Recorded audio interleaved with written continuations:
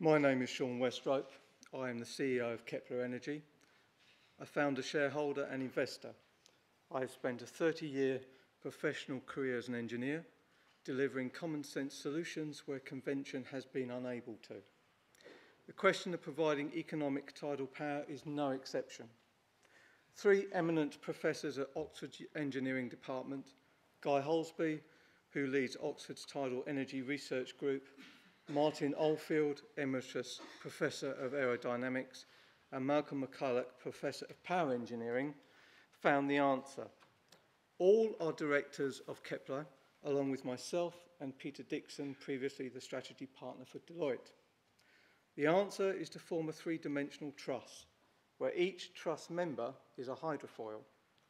The transverse horizontal axis water turbine, or THAWT, forms a very simple modern water wheel installation and that spans across the flow to provide power economically and is sufficiently rigid to resist the loading. Deployed as a tidal fence, it uses less static supports, provides economic use of generating equipment and structural material, all of which has inherently less installation risk. In developing this technology, some additional properties were discovered which increase return on investment. The physics of blockage permits power output to be magnified significantly by a factor of two or three. This underpins the effectiveness of Kepler's tidal fence system. Systemised construction can be adopted with the use of standard equipment. And as each unit is installed, it starts generating minimising or reducing the need to consider rolled up interest.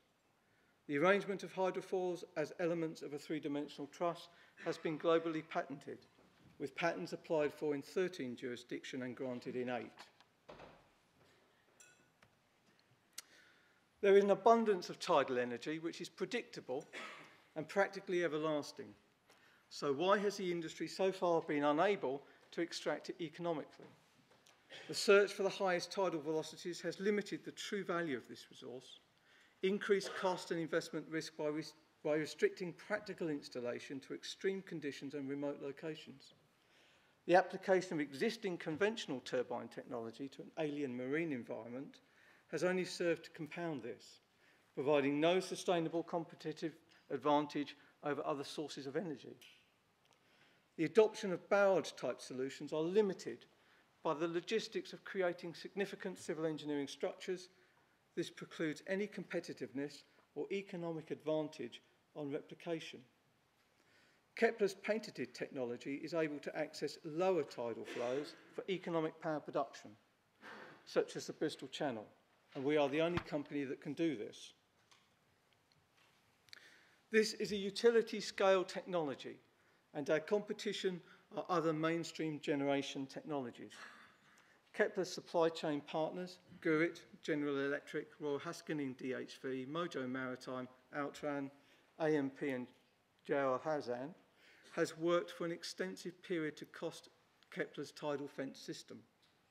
We are confident that we can outturn with costs of between 100 and 130 pounds a megawatt hour.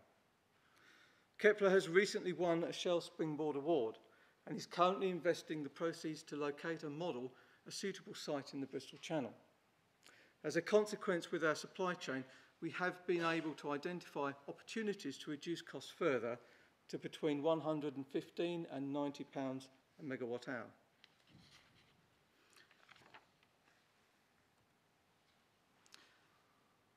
Kepler Energy has demonstrated that the engineering concepts work confirm the power output curves, and with its supply chain, the manufacturing and installation methodologies to provide commercial costs. Kepler is at the first round funding stage of developing a 30 megawatt tidal fence in two phases. The first will demonstrate the installation and performance of a single unit in the marine environment. The second will extend it to a 30 megawatt tidal fence and provide a project return. This technology has come from a rich heritage of engineering.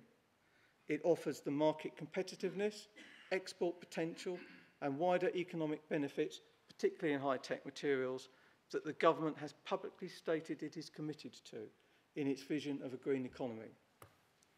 If similar levels of support were afforded to Kepler, 20 million, Kepler has investors that will provide the outstanding requirement of 33. My ask is that government work constructively with Kepler to deliver a more competitive and dynamic UK green economy. Thank you. Thank you.